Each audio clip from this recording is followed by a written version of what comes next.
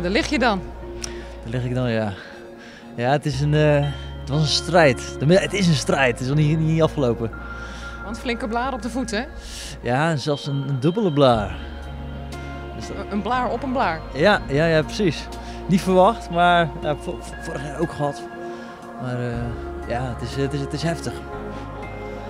Laten we hopen dat de lopers het allemaal uit kunnen lopen dankzij ons. Zijn er eh, extra veel blaren door het natte weer?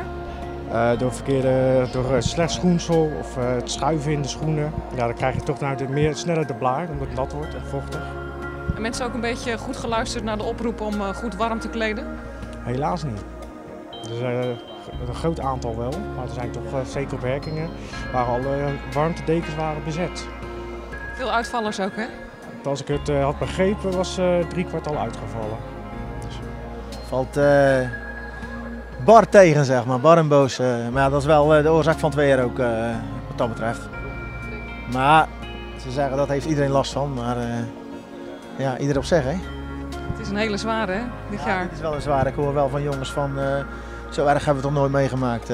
echt slagregen op slagregen. En, ja, dat hakt erin. Gewoon lichamelijk, maar ook tussen je oren natuurlijk.